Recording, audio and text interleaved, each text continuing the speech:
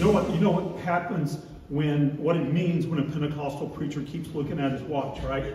Absolutely nothing. So I'm not long-winded, but uh, so as soon as this service is over and we have a little altar time, uh, we will uh, conduct the, the, church business as well. But thank you so much, uh, Pastor Chris and his wife, for the invitation to be here today. The first time we came and ministered here, which has been, I guess, a couple of months ago. And uh, you, you folks have such wonderful, generous hearts and spirits. And what about the praise and worship today? Come on, come on, give it up. Thank you, Lord. God. I enjoyed the team. I enjoy God's Spirit, and it's just wonderful to worship with you today. So again, I'm an associate pastor at Lake Wylie Christian. Been there for 23 years, longer than some of you have been alive. And it's just a, a, blessing to serve under Pastor Gunn. He sends his love and regards today. I also have the privilege to serve as a district uh, presbyter. So I serve pastors in the Rock Hill, Lancaster, Union area. And so again, just uh, wonderful to be with you folks today. Uh, did you have a good Thanksgiving? I would love to try some of that Puerto Rican rice, man. I love all kinds of food, as obvious, but uh, we had a good time with our family. And don't you just love, hopefully, don't you love family get-togethers and reunions and things like that? I was privileged to go with my wife recently to her uh, high school class reunion. And, you know, we're walking that way out in the woods and people are like travailing up this path. And I thought, man, man a lot of these folks are you're really getting up there in age and it's hard for them to move and I hope they're going to be all right. And I'm thinking, dude, I'm that old. Got, this is me, you know? And, and, you know, so it's just amazing. But I love reunions and people have changed a lot. I look at my beautiful wife. She's just a gorgeous bride. She's prettier today than she was 42 years ago when I married her. Uh, we married at 19 and 18. I don't recommend that to anybody today, but you know, we survived by the grace of God and God has blessed us, blessed our union. But when I went to my high school reunion, I was the guy who changed the most. Literally, I, they put me up on the board and said, see when he had long, blonde, golden hair, how thin he was, and I literally had changed the most. Don't you love it when Aunt Susie runs up to you at these family reunions and grabs your cheeks and says, oh, look how you've grown. Remember, you, you've probably done that, had that done to you. You used to be this high, but now you're, right, right? We, we change. Hopefully, we're all growing. And I believe that's the message that the Lord gave me to share with you today. And it's simply grow up. So somebody look at your neighbor and say, grow up. Amen. Now, I know you've been uh, up and you've been worshiping, and if you're able, if, you're, if you can, would you stand as we honor the Word of God today? Turning to Ephesians chapter 4. Ephesians chapter 4. This is the living, powerful, active Word of God. Amen. This isn't just a man, thank God, sharing. This is the Word of God. And it brings spirit and it brings life to us. Ephesians 4, beginning of verse 11. Now these are the gifts of Christ that he gave to the church. The apostles, the prophets, the evangelists, the pastors, and the teachers. I had a friend that was doing a revival service and walked in and this lady hit him right away and she was negative and she was, you need to talk to our pastor. He thinks he's a gift from God to our church. This very wise evangelist says, Well, praise the Lord. Finally, a pastor that knows his place. Come on.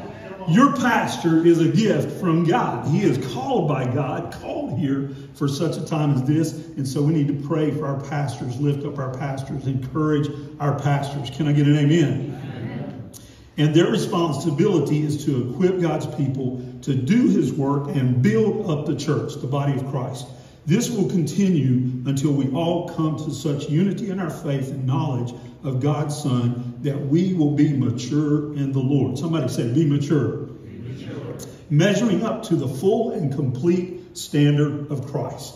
Then we will no longer be immature like children. We won't be tossed and blown about by every wind of new teaching.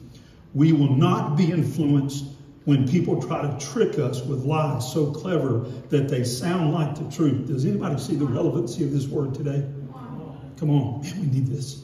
Instead, we will speak the truth in love, growing. Somebody say growing.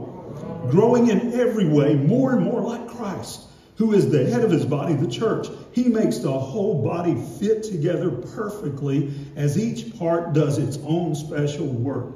It helps the other parts grow. Somebody say, grow. So that the whole body is healthy and growing in and full of love. Father, thank you for this body.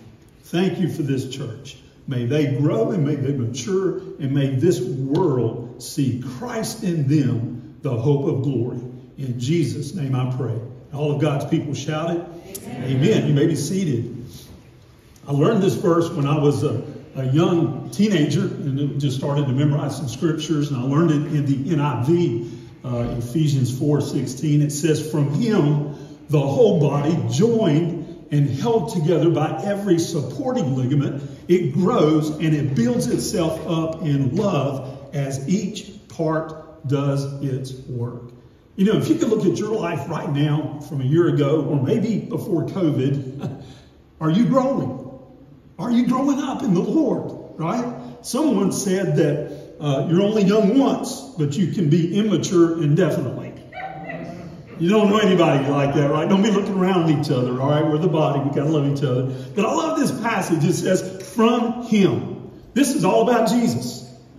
It's all about Jesus. Jesus said, if I be lifted up, I will draw all men unto me, right? And if this is a place where we lift up Jesus, we praise Jesus, we sing to Jesus, we worship Jesus, we learn about Jesus, people are going to come, right? When there's a fire, or as we say in South Carolina, far. When there's a fire over there, we're going to go check it out. we're going to go see. And when the fire of God is here, when Jesus is in this place, people are going to want to come. It's in Him that we live and we move and we breathe and we have our being. Amen. Love to walk my neighborhood and there's a uh, governmental apartments kind of close to there, some income-based apartments. And as I walk through there and I pray for the different families, different needs, and there's one guy that sits out on his uh, stoop, his little porch, and every time around that, how you doing, sir? Just glad to be alive. Just glad to be breathing today. That's what he says every time I come around. And it's in Christ that we have breath. It's by the grace of God you woke up this morning. It's by the grace of God you're in church this morning. I know bedtime assembly would have looked really good with all that rain, but you came to church. Amen. And we're glad you're here today. So it's in Him that we live and move and breathe and have our being. Remember, John the Baptist said, I must decrease that He might increase. Is He increasing in your life? The scriptures say, without Him I can do nothing, but with Him I can do all things, right? I remember uh, shortly after I got filled with the Holy Spirit, the Lord kind of transitioned me out of a denomination that I was in. And I went to serve in this church in the metro Atlanta area for a couple of years.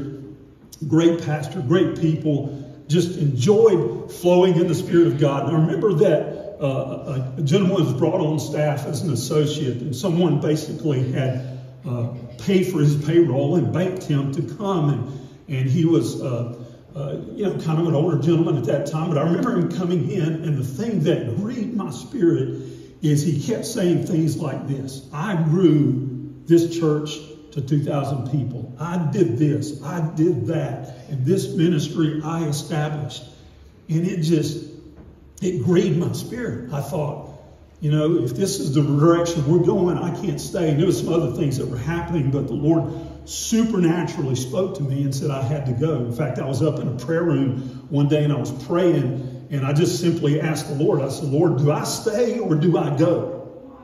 And just like that, just like you saw the words up on the screen, without a projection, without anything like that, I saw John 4 4. I saw the reference. I didn't know what it said. And I was asking the Lord, do I stay or do I go? And I opened up my Bible and it said, He must needs go. I went to my pastor and I said, Pastor, I love you. I love serving with you. I love this people. And God's told me to go. Anyway, God just opened up some doors supernaturally.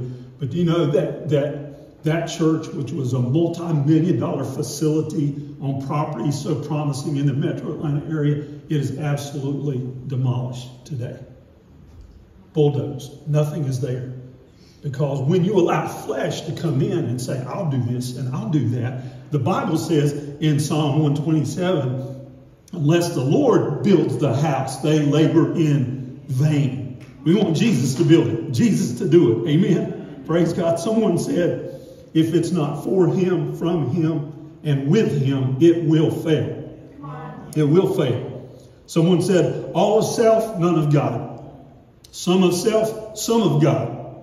None of self, all of God. I don't know about you, but I want all of God. I want all that Jesus wants to do. Amen. Colossians 3:17 says, "Whatever you do and whatever you say, let it be for the glory of God and in the name of Jesus."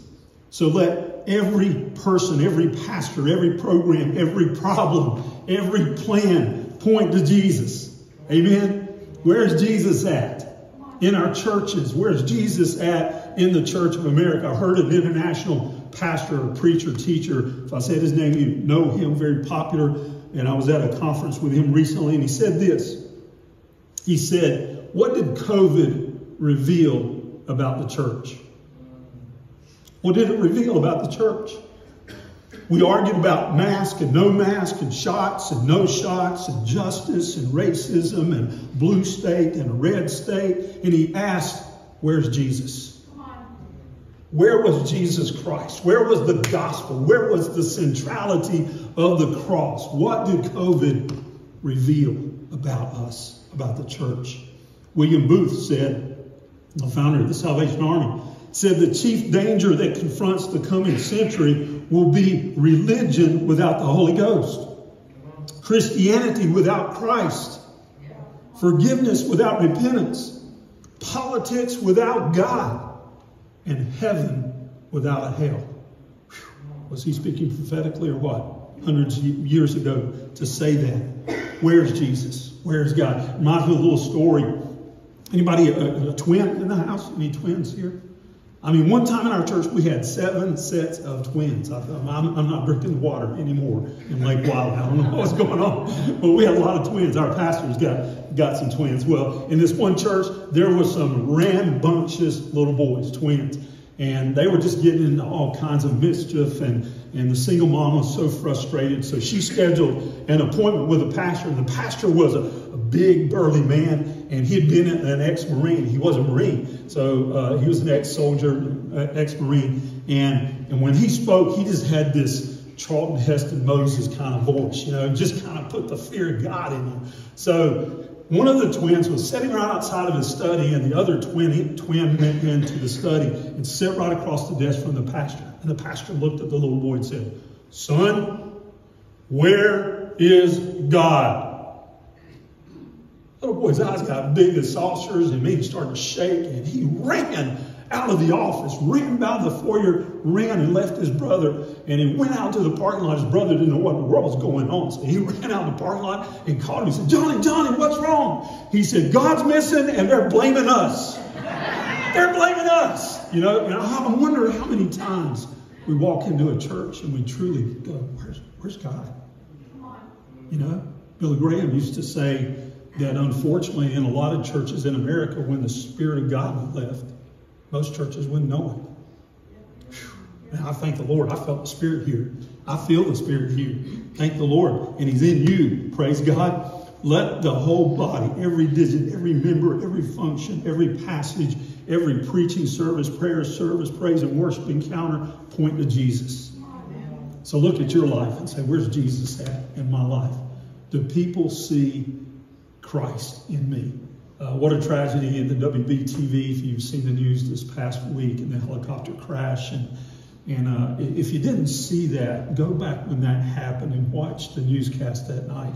You're talking about, really talking about God and talking about Jesus. And one of the newscasters uh, said this, in essence. He said, I know Chip and Jason, those two guys that were in that helicopter, they were like me. They're brothers in Christ. He started to get choked up. He said, We were brothers in Christ. So I know today where they're at, that they are in heaven because of Jesus. Wow. Wow. Praise God. That no matter where we're at and what tragedies we go through, if our lives are in Christ, we don't have to worry. We don't have to fret. So from him, the whole body joined and held together by every supporting ligament. Not only is this about the Lord, but it's about lifting each other up, but it's about being linked together. We're connected together, right? Uh, I remember, you know, when I would hear about football players and they would come off the field and they couldn't play anymore because they had turf toe. Anybody ever heard of that, turf toe?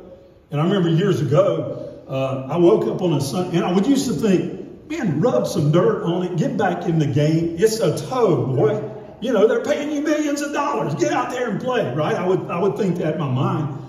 And I remember Sunday morning, years ago, I woke up in the morning and my big toe hit the sheet and it felt like a missile from the pit.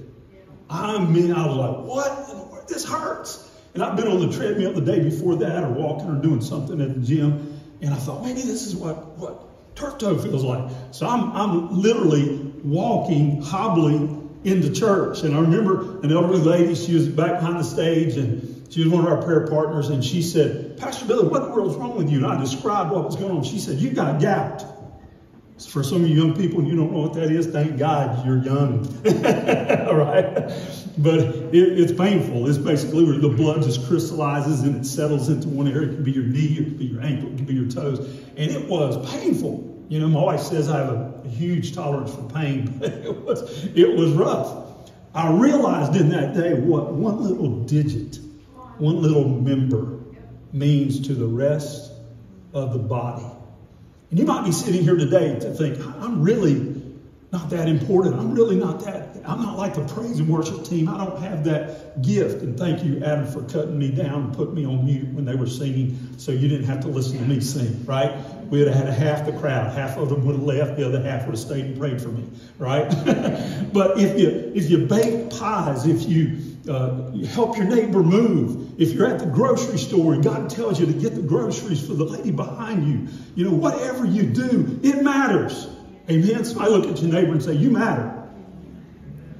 Because we are linked together. The Word of God declares in Romans 12, 4 and 5, just as our bodies have many parts, and each part has a special function, so it is with Christ's body.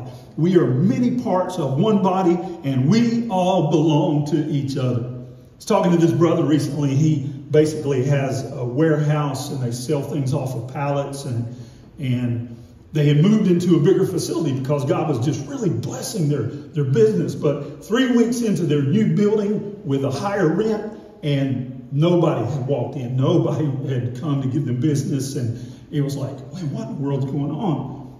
And then the Lord spoke to him, and he, knew of a pastor and his wife that needed a washer and a dryer. And he said to his wife, he said, honey, I really feel like the Lord is telling us to bless this pastor and his wife with a washer and a dryer. And they did. And the very next day, somebody on social media that has a huge platform on these sales things, a marketplace or whatever, called them up and said, hey, I've seen your place on uh, on social media, and I've got 30 people that would like to come in and visit your warehouse with me. Is that okay? Yeah, yes, please. And they came in, 30 people. They bought more in that one day than they normally bring in two months. And it's like the Lord said, see what happens when you give? When you are linked to your brothers and sisters and you try to meet a need. The Bible says, given it shall be given unto you, pressed down, shaken together, running over. And he that refreshes others will himself be refreshed. Amen. From him, the whole body, joined and held together by every supporting ligament, grows and builds itself up. Somebody say up. Do you ever just need to be built up, to be lifted up? There's some people that come to church and you don't want them as your greeters, but they need, they, they not only need a facelift, they need a faith lift. Hello? I always say, uh, I was sending out a text to our greeters this morning saying, thank you for serving, thank you for volunteering, and reminded them of the proverb that says, he that has a glad heart has a cheerful face. Hello? Right? The Bible says that he that uh, is in the Lord, his heart has a continual feast in the Lord. There used to be an old song, this will date you. I was in youth ministry for 26 years, went to a lot of Christian concerts and Christian music festivals, and Audio Adrenaline used to have that song. When I get down, he lifts me up. You know, praise God. When I get down, he lifts me up. Psalm 3:3 says, He is a shield around me. He's my glory. He's the lifter up of my head. Amen. Proverbs 17, 17 says, A friend loves at all times. A brother is born for adversity. Proverbs 27, 17 says, As iron sharpens iron, so another man sharpens the countenance of his friend. Have you ever noticed when you speak the truth in love that sometimes it feels like iron sharpening iron? It, it kind of cuts, it kind of builds some sparks, there's some friction. It's not always easy to speak the truth, is it?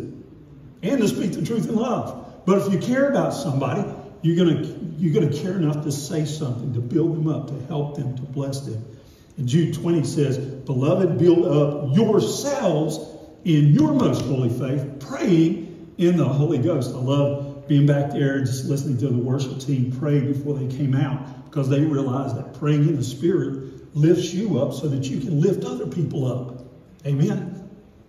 Joyce Landorf, Landorf this uh, author from years ago, a wonderful Christian counselor, she said people are either basement people, they'll put you down, they're negative, you don't want to always hang around with them because they just, they, they're the downer of the party, right? But then there are balcony people, people that lift you up, people that encourage you, people that speak life affirming words over you. So look at your neighbor and ask them, are you a balcony person or a basement person? Some of you are trying to find your neighbor, right? I see that. Praise God. Hey, Moses had to have an Aaron and a Hur. Amen. David had to have a Jonathan. Elijah had to have an Elisha. Paul had to have a Timothy or a Barnabas, one uh, the son of encouragement. So there's different people in the Bible. And, and you think about Jesus, he had to have a Peter, James, and a, a John. Yeah, he had the 12 and he had the 70 and he had the 120, but he had 12 and he had three that were really important to him. He said, Guys, would you go with me to pray? Would you go and help lift up my arms? When Billy Graham traveled, I just loved his humility. And when people would ask him about the success of his ministry, he would always deflect to the team. He would say, I had George Beverly Shea with me, right? I had these people, Cliff Barrow. These were my guys. They, they went with me. I remember early stories of when Billy Graham would go into a hotel room and Cliff Barrow or George Beverly Shea would come in there and they would get a blanket and put it over the TV, or they would take the TV off the counter and put it in the closet. Why? Because Billy Graham said, I don't want to be distracted while I'm in here. I want to stay in the Word, I want to stay in prayer, and I don't want to succumb to temptation. Everybody needs somebody. We are better together. We are linked together. Amen. Amen. So your words are powerful. They will either kill or they will heal. They are. And you're either a cheerleader or you're a criticizer. Hello? I won't be a cheerleader. I want to. It's amazing that one person and one word can make one lasting impression. Right? There's a guy that's helping with our ministry, our outreach at our church, and just doing a phenomenal job. Loves people. And I guess he's, you know, probably in his 50s now but he said when he was 18, no, excuse me, he was actually 17, and he went into the Marines years ago, and I think he lied to get in about his age or something like that. But he said his mom told him, You'll never come home. You're going to die on the battlefield. She kept telling him, You're going to die at 17 years of age. Imagine it. Imagine being Michael Jordan's junior high coach that said, You'll never be able to play basketball. You're never going to be a good player, right? And to be one of the greatest that ever played. So people are going to speak either death or life over you, but by the grace of God, you don't have to be what people say about you. Amen? But you want to speak words of life over yourself and over other people because they make a powerful difference. From him, the whole body, joined, held together by every supporting ligament, grows and builds itself up in love. Love. If you were to go to the love chapter in 1 Corinthians 13, you know, it can say, hey, linguistically, as far as relationships, you've got it together, your prayer life's together, you're speaking prophetically, you're able to move mountains with your faith, you're able to give, give sacrificially, give generously. You can preach, you can prophesy, but if you don't have love, means nothing. Means nothing. It's like a clanging cymbal. So I praise God for love. Some people, by the way, Galatians 5 22 says, The fruit of the Spirit is love, love, joy, peace, patience. You look at all the rest of those attributes, and I believe they're umbrella, very fitting word today, umbrella about love. Everything comes under love. The Bible says that love covers all offenses. That they'll know we're Christians by our love, not by our programs, not by our lights, not by the good praise and worship team, not by our nice clothes, not by our abilities or our even our uh, arguments. Some Christians are gifted to argue and to debate. They'll know we are Christians by our love, not by all these other things. So the greatest of these things is love. I remember the story of a, a wife taking her husband to the doctor, and he was just deplenished in strength and just just wasn't feeling right, wasn't himself, and so she took him to the doctor, and uh, he went back, and he, the doctor gave him a full full exam. So when the man walked back out, he just said, "Hey, honey, I'll I'll meet you out in the car. The doctor wants to see you." So the wife went in, and the doctor said, "You know, physically, I I just I just really can't see anything going on. But here's what I encourage you to do: go home with your husband and." Man, give him the paper every day. Give him the remote control and make him some uh, sweet tea and, you know, give him his favorite meal and massage his feet and just tell him that you love him and just, just really build him up. She thought for a few moments and she walked out and got in the car with her husband. And the husband said, Hey, what did the doctor say? Wife looked at uh, her husband and said, He said, You're going to die. Man, come on. Come on. Man, we are called to give. We're called to serve. We're called to lift each other up. We're called to love each other, right? And I always tell couples, and Tina and I have been doing marriage ministry for, you know, probably 23 years. And, and, and I'll say it's the couple that outlives and outserves and outloves each other that, that makes a difference. You know, a great marriage isn't just two great lovers, it's two great servers. I'm going to do everything I can to outserve my wife by the, by the glory of God. Our pastor told a story recently about a young man that was waiting at a bus stop. You know bus stops, I guess, right? Right? So this young man was waiting at a bus stop and he sat beside a nun.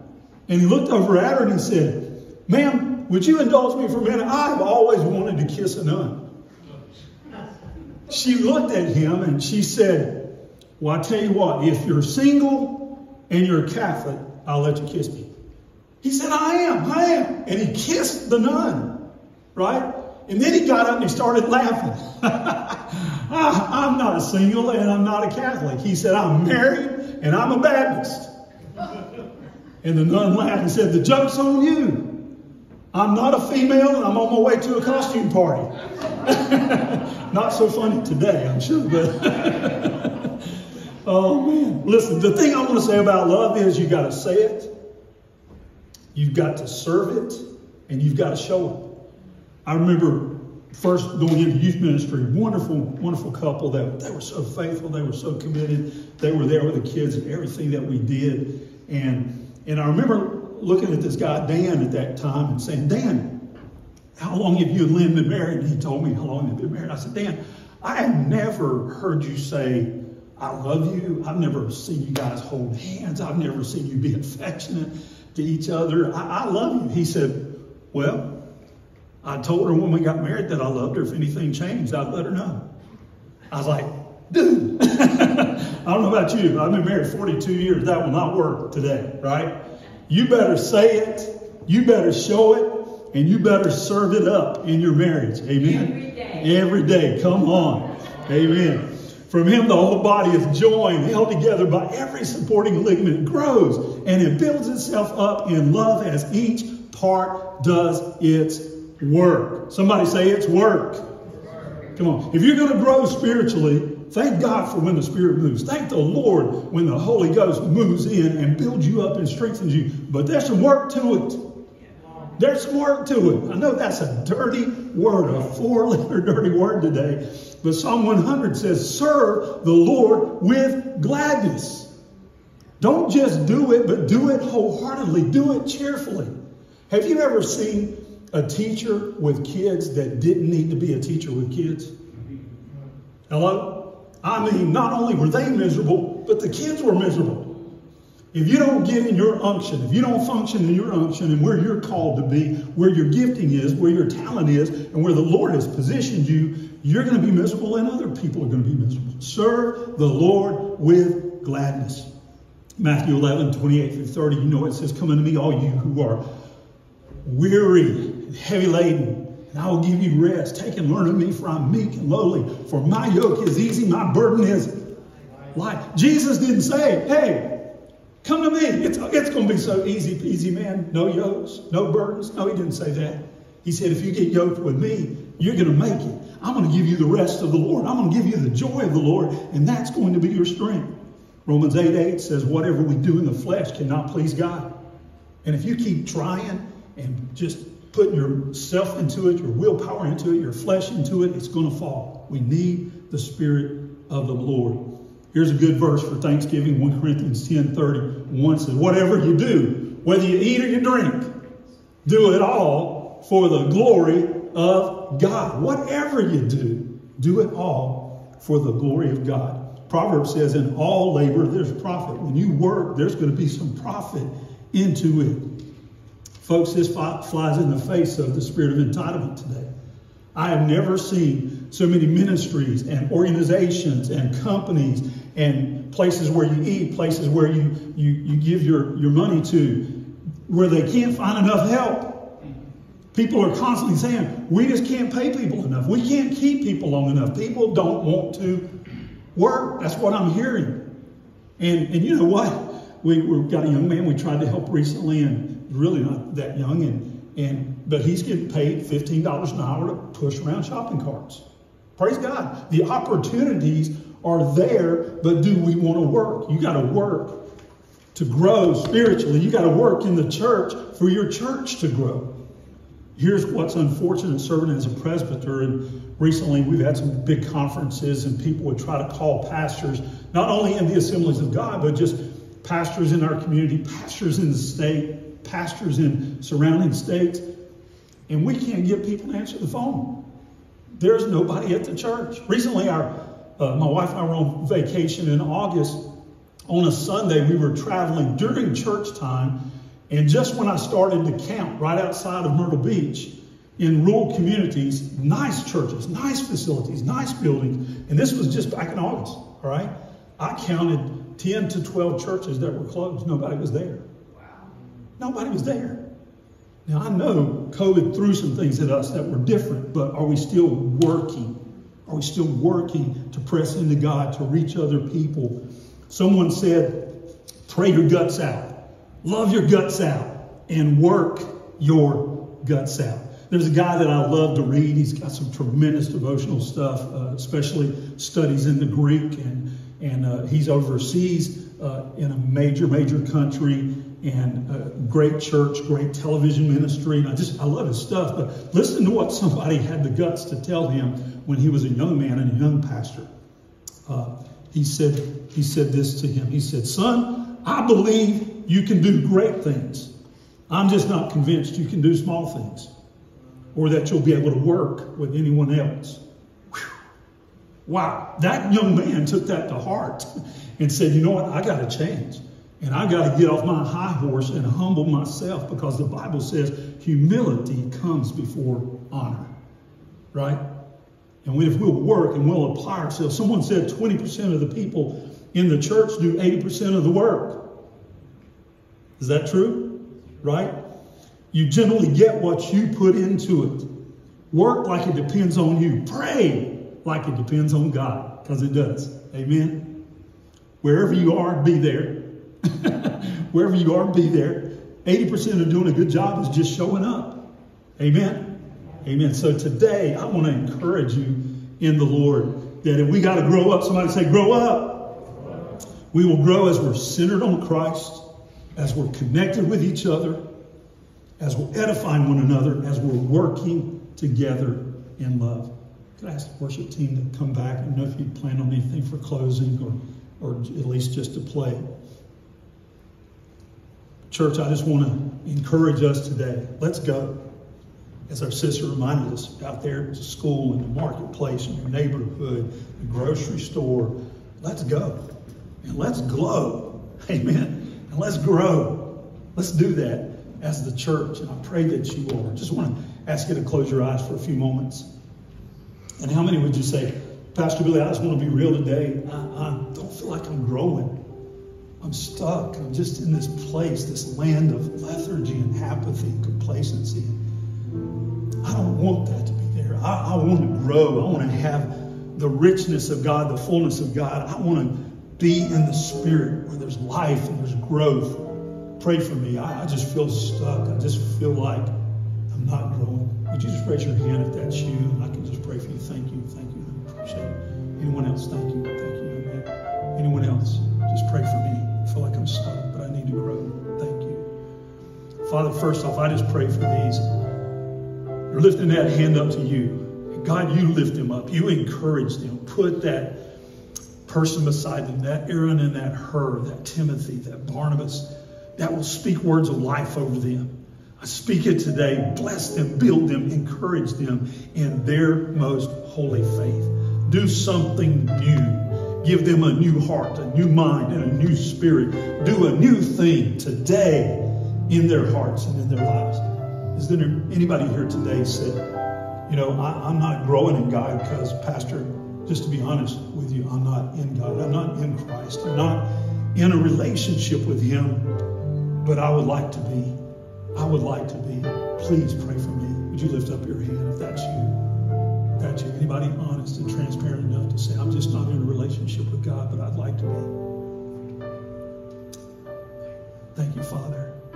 Thank you, Father, for these believers that have come today to support this church, to support this pastor. Lord, I, I thank you that we can be in Christ.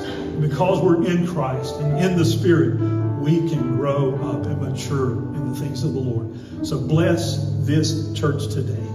May it be a place of real life, abundant life, full life, where that will make a difference, not only in our hearts and in our lives, but out, out in our neighborhood, out in our world, making a difference for Jesus. That's our prayer. That's our desire. In the name of the Lord. In the name of the Lord Jesus, we pray.